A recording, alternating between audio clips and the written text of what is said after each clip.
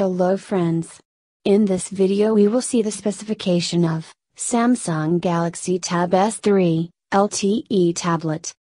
The tablet comes with a 9.70 inch display, with a resolution of 2048 pixels by 1536 pixels. The Samsung Galaxy Tab S3 LTE is powered by 1.6 GHz quad-core Qualcomm Snapdragon 820 processor, and it comes with 4 GB of RAM.